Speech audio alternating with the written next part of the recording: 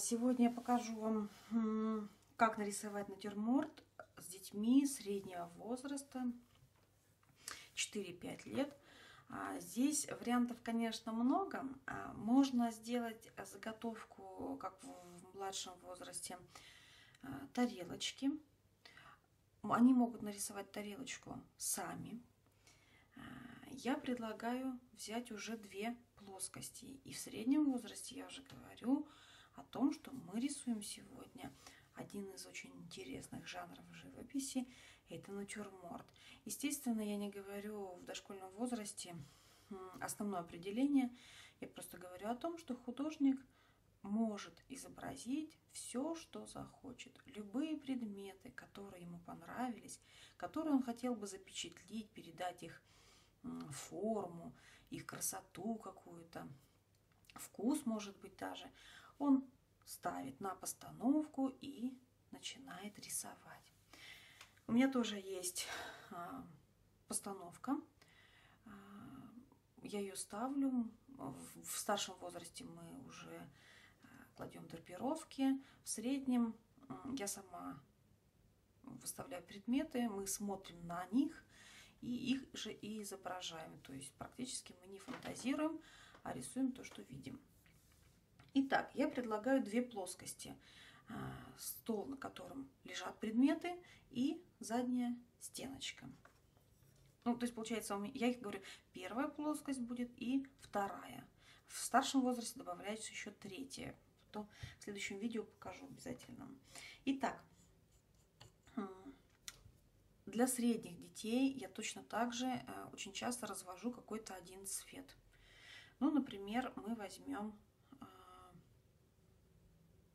ну, если, если у нас будет э, красная помидорка, э, зеленый огурчик, скатерть у нас может быть синяя и стеночка как раз вот эта желтая за предметами. Итак, я взяла гуашь, но вот я советую желтый и синий развести тарелочке отдельно, а вот уже зеленый и красный поставить именно гуашь. Итак, ну, я в гуаше возьму в акварели. Проводим прямую линию, закрашиваем, учим детей убирать все дырочки.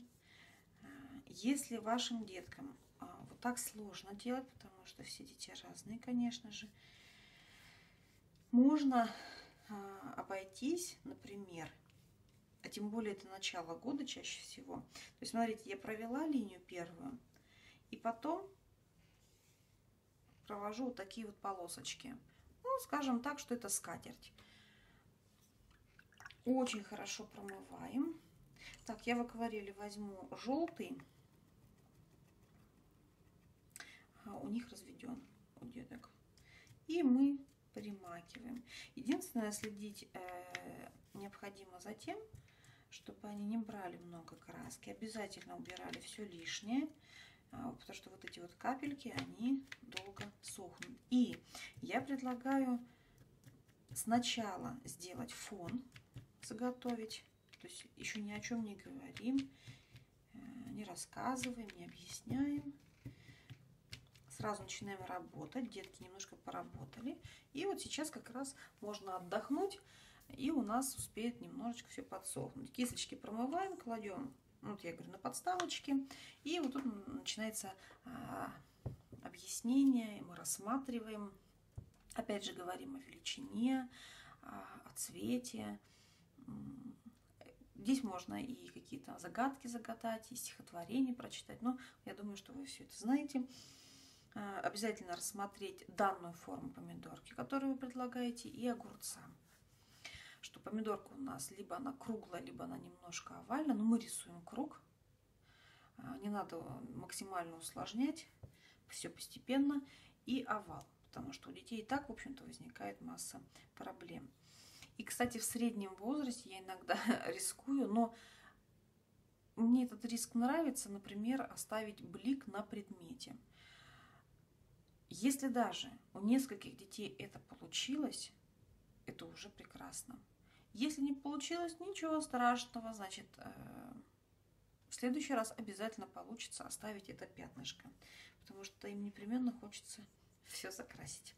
Итак, мы начинаем с помидорки. То есть мы поговорили, все немножечко подсохло. Заострить внимание детей на то, чтобы помидорка и огурец лежали именно на скатерти, они висели в воздухе.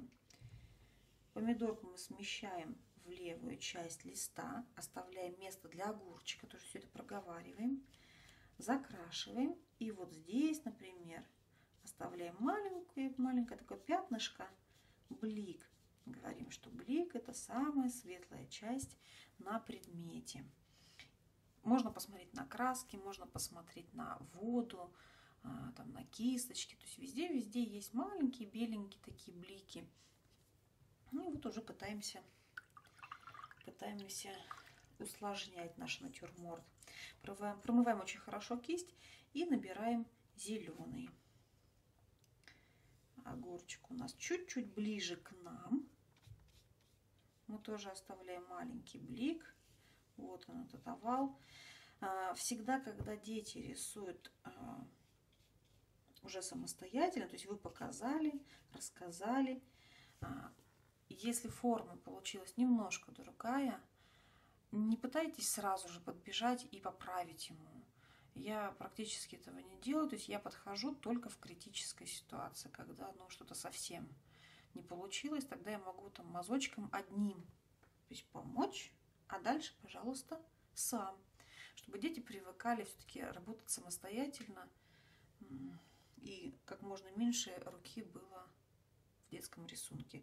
И добавляем хвостик.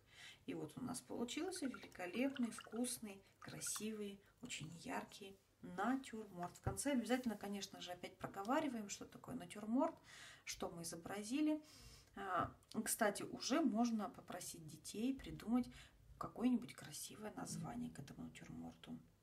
Вот, я желаю вам удачи.